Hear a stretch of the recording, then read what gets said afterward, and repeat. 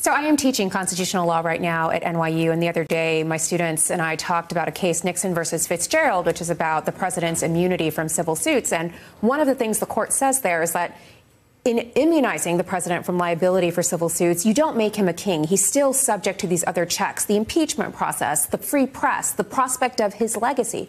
When I said all of these things in class, my students laughed.